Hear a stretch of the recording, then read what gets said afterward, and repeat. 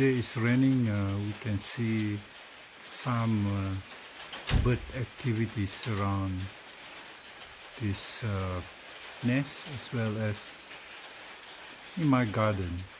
Bye. I'm Pash please subscribe